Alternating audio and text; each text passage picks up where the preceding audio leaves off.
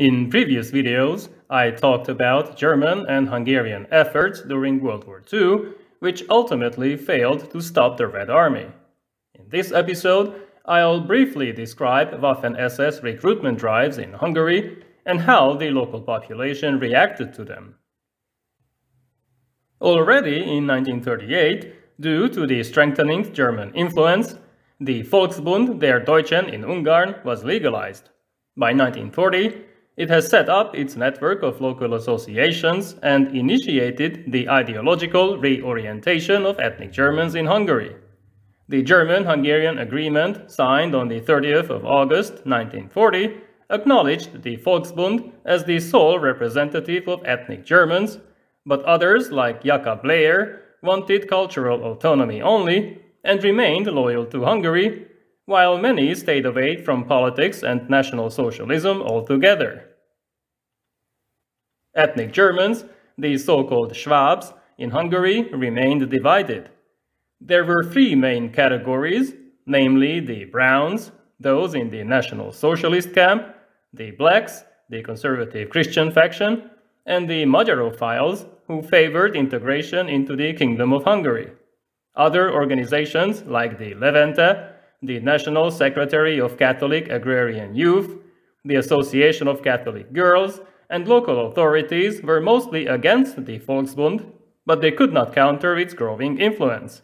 In the 1941 census, roughly two-thirds of those who spoke the language identified themselves as German, while the rest chose Hungarian as their nationality.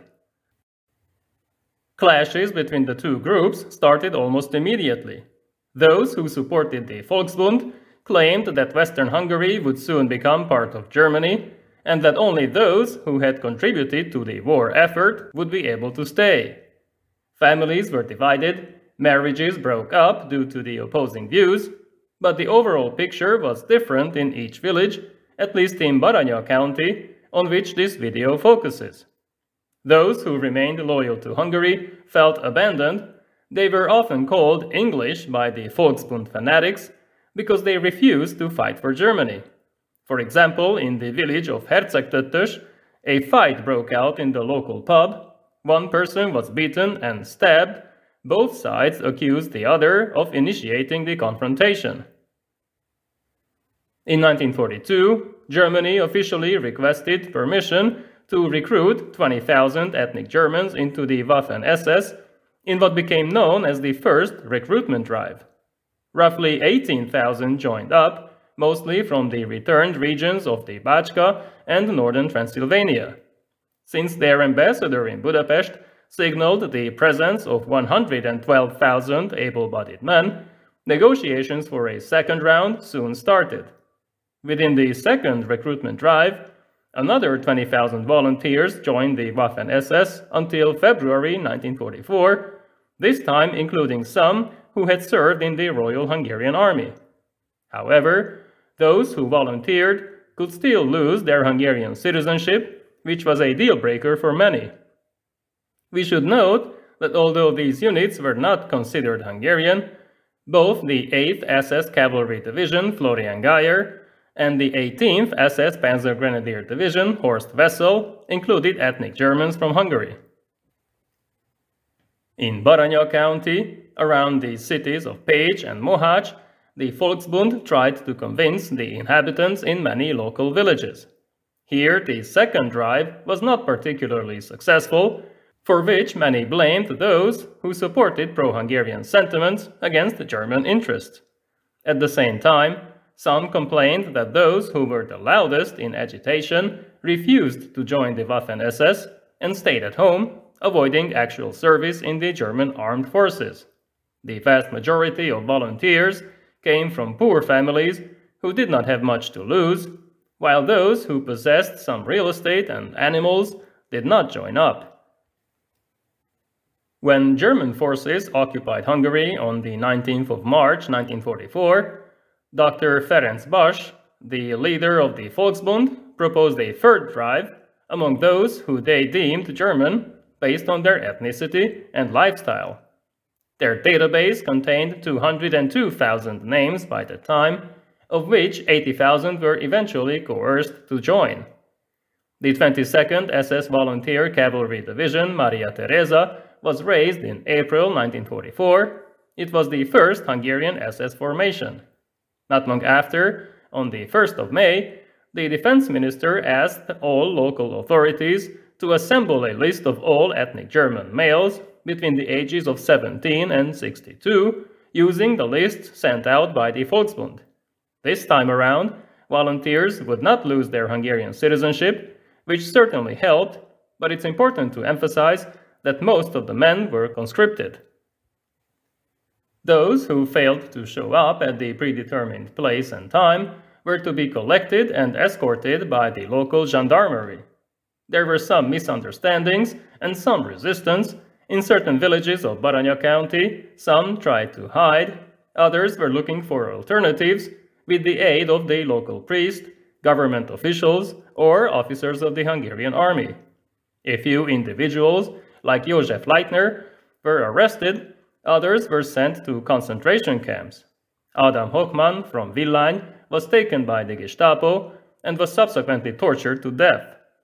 Waffen-SS units, mainly the 31st Division, which had been set up in October in the Bácska region, arrived in the area. Their relationship with the population was less than perfect. Their rude and aggressive behavior further alienated those who were trying to avoid service. When conscription into the Waffen-SS, the third round, began, clashes broke out once again between the two opposing groups. The only viable alternative for those who remained loyal to Hungary was to join the Royal Hungarian Army voluntarily before they would be drafted into the Waffen-SS. In early June, Defense Minister Lajos Csatay announced that all males over the age of 17 could volunteer, those who were under 18 needed parental consent, and this gave some hope to ethnic Germans who preferred serving in the Honvédség. Once again, certain individuals, like Konrad Heckenberger, a priest at Lánycsók, tried to organize and support these individuals, but many Hungarian officers refused to accept ethnic Germans, while others only accepted a small number to avoid repercussions. Interestingly, between June and August, more than 200 of them ended up at the replacement unit of 3rd Battalion, 8th Infantry Regiment at Pécs, with strong support from 4th Corps and possibly from the War Ministry itself. The unit commander, Captain Sabo, had just returned from the front. He was not eager to go back. Still, after six weeks of intense training, two companies were marched south to Kiskőszeg, where the front was at the river Danube, while third company stayed behind at Pécs as reserve. Most of the ethnic Germans guarded a small section of the line that was not very active. Their main objective was to stay out of harm's way. On the 15th of October, when Horthy was removed from power and Szálasi took over, the unit was marched back to Pécs to take the oath once again. Then they were sent back to the front, where they stayed until late November. When the Soviet breakthrough took place, a long retreat began, first to Mohács, then Pécs, but many tried to stay in the region, throwing away their weapons and uniforms, hiding from the advancing Soviets as ordinary peasants. What was left of the unit was moved up north to Érsekújvár, then to Austria and Germany, where they were eventually captured by American forces in early May. Most of them decided to return to Hungary, even though they were warned about the possible consequences. Those who did ended up in prisoner camps in Hungary and Romania, only to be transported to the Soviet Union, from where they returned in 1947 and 1948.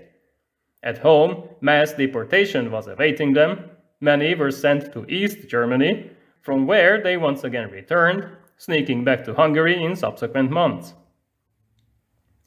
In the end, out of 212 volunteers who joined up to avoid being conscripted into the Waffen-SS, 18 died or disappeared, 16 were wounded, but 117 were still alive in 1994 when Miklós Füzes and András Újvári interviewed them.